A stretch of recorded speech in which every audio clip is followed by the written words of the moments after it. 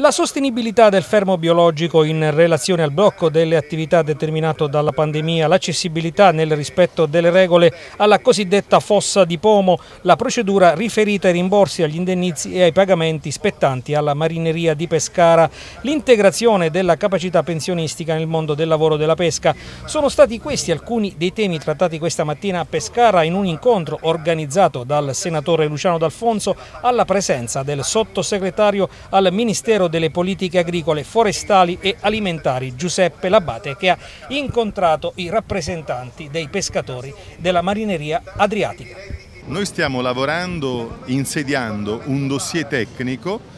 fatto anche nutrire dal punto di vista tecnico dello zoo profilattico di Teramo per fare sì che lo stop delle attività imposto dalla pandemia in una condizione di autodeterminazione dei pescatori di questa parte dell'Adriatico, tra l'altro certificato questo stop anche dall'autorità marittima, dalla Capitaneria, possa andare a scomputo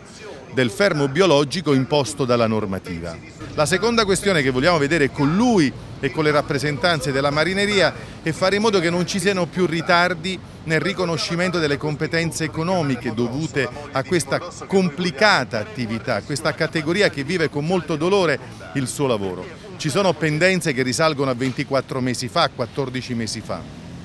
La terza questione è provare a facilitare l'accesso alla fossa di Pomo nel quadro del rispetto delle regole. È una fossa molto piena dal punto di vista proprio del giacimento della natura dell'acqua per ciò che interessa i pescatori e noi vorremmo capire se è possibile. La quarta questione che è molto nostra di eletti in Parlamento e con poca fiducia da parte delle maestranze della pesca provare ad alzare le competenze economiche riferite alla pensione degli operatori della pesca. Eh, in conferenza Stato-Regioni a breve andrà un decreto che darà la possibilità alle regioni di poter utilizzare i soldi del FEAMP per poter eh, poter eh, erogare dei contributi a sostegno del settore che ha subito eh, evidentemente il fermo eh, eh, non biologico ma a causa della, della pandemia ed inoltre eh, il governo ha stanziato 20 milioni di euro nel Cura Italia proprio per dare un supporto alle nostre marinerie.